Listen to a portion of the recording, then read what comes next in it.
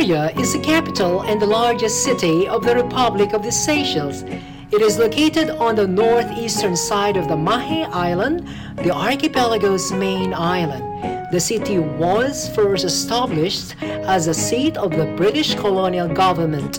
In 2010, the population of the Greater Victoria was 26,450 out of the country's total population of 90,945. Victoria, the capital city of the Republic of the Seychelles.